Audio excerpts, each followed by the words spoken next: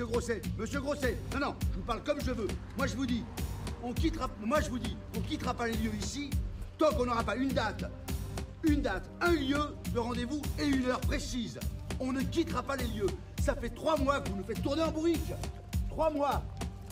Trois mois que vous nous faites tourner en bourrique. Et que vous nous faites espérer des choses pour nous planter après. Je vous explique, ici, là, à Monceau, ici, ça reprendra pas le travail.